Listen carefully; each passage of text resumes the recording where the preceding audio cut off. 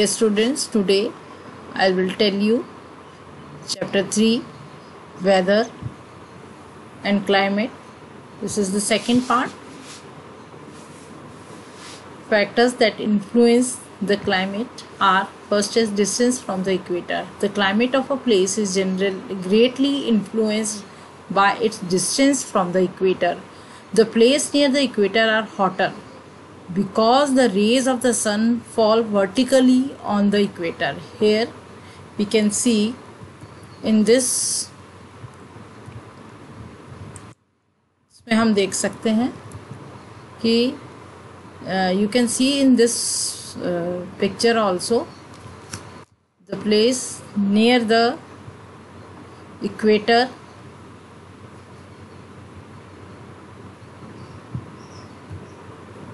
in this here. Here. This is the equator. And uh, you will see in this equator के आसपास का जो reason है it is hotter why it is hotter because the sun rays क्या हो रही है? Vertically fall हो रही है इन पर. पूरे सीधी उन्हीं के ऊपर ही पड़ रही है. इन दिस रीज़न इक्वेटर के, इसलिए इक्वेटर के आसपास का रीजन जो है वो कैसा होता है? हॉटर होता है। क्योंकि ये स्मॉलर एरिया में ही ये कंसनट्रेट होता है इसका। दैट्स वाई इक्वेटर के आसपास का हिस्सा जो होता है और रीजन जो है एरिया है वो हॉट होता है। नाउ द जैसे ही जैसे हम इक्वेटर से ऊपर की तरफ़ मूव करते हैं इक्वेटर से दूर जाते हैं, हम ऊपर की तरफ़ मूव करते हैं, या इक्वेटर से दूर नीचे की तरफ़ जाते हैं। जैसे जैसे हम मूव करते हैं इक्वेटर की तरफ़, इक्वेटर से हम दूर जाते हैं तो सन रेज कैसी हो जाती हैं? स्लांटिंग हो जाती है। तो यहाँ पे जो इस रीज़न पे जो है, वो सन रेज बिल्कुल नई मात्र, नाम मात्र की आती है। इसलिए इस रीज़न का जो क्लाइमेट है वो कैसा होता है? कूलर क्लाइमेट होता है। हेयर ऑल्सो सेम यहाँ पर भी हम जब इक्वेटर से दूर जाते हैं तो यह सन रेज जो है, यहाँ से देखो ये सन रेज यहाँ ऐसे सीधी स्लांट आएगी तो यहाँ पर कभी कभी सन रेज आते भी नहीं है, इसलिए यहाँ का क्लाइमेट जो है वो कूल क्लाइमेट रहता है। नाउ सेकेंड इज़ एल्टीट्यूड और एलिवेशन एल्टीट्यूड और एलिवेशन का मतलब क्या होता है? दिस इज़ द हाइट अगर हम लोअर हाइट पे ज, आ, आ, अगर जो प्लेस हायर एल्टीट्यूड है जिस प्लेस का तो वहाँ का क्लाइमेट कैसा होगा? प्लेस एट हायर एल्टीट्यूड है colder climate than place at lower altitude lower altitude के प्लेस से जो हायर एल्टीट्यूड का प्लेस है वहाँ का क्लाइमेट जो है वो कोल्डर होगा. ठीक है?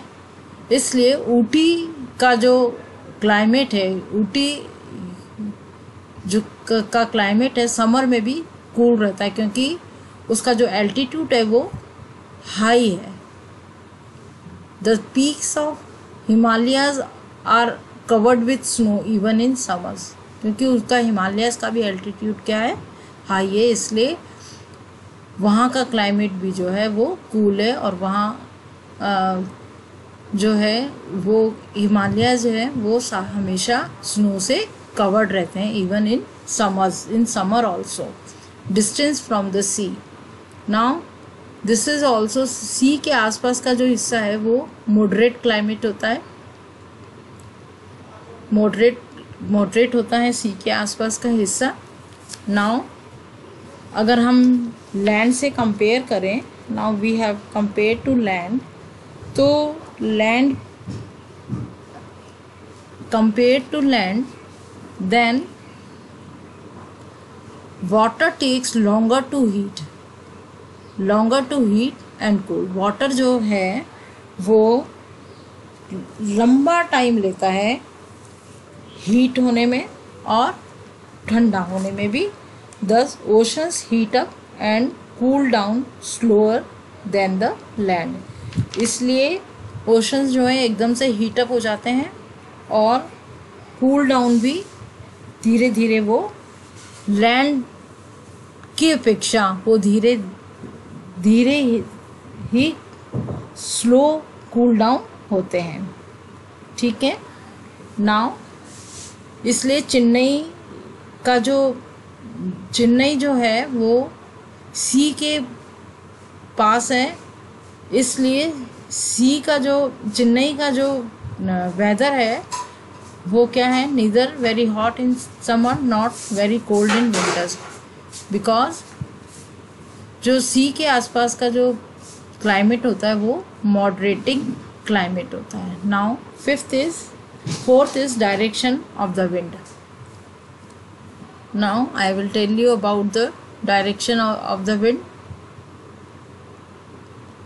fourth that this is the fourth the sea breeze that is the wind blowing from the sea to the land carries moisture and brings rain to the coastal areas क्या लेके आती हैं वो मॉइस्चर लेके आती हैं मॉइस्चर का मतलब होता है हवा के अंदर नमी होना उसमें पानी के कण होना वो sea breeze wind blowing from the sea sea से ब्लो करती है वो लैंड की तरफ़ और क्या लेके आती हैं कोस्टल एरियाज़ में? रेन लेके आती हैं। The land breeze that is the wind blowing from the land to the sea is cold जो लैंड से सी की तरफ़ जाती हैं, ये, वो कैसी होती हैं? कोल्ड एंड ड्राई कोल्ड और ड्राई होती हैं। If it blows from a cold area it is warm and dry it's blows from a warm area fifth is humidity humidity means the amount of water vapor in the surrounding air. Water vapour पानी होता है उसमें। जो air है हमारे, उसमें हल्के पानी की बूंदे बाद पानी के कण होते हैं, उसको हम ह्यूमिडिटी कहते हैं। With the increase in humidity the chances of rainfall increase जैसे जैसे ह्यूमिडिटी बढ़ती जाती है रेनफॉल के चांसेस इंक्रीज होते जाते हैं, बढ़ते जाते हैं। The coastal areas have more humidities इसलिए वहाँ कोस्टल एरियाज़ में है जो ज़्यादा बारिश होती है। In colder places humidity result in snowfall instead of rainfall जो कोल्डर प्लेसेस हैं, वहाँ ह्यूमिडिटी का क्या रिज़ल्ट होता है? जहाँ वहाँ अगर ह्यूमिडिटी होती है तो वहाँ स्नोफॉल होता है इंस्टेड ऑफ़ रेनफॉल रेनफॉल की जगह वहाँ पर स्नोफॉल होता है। Thank you and In third video, I will tell you about climatic zones of the world.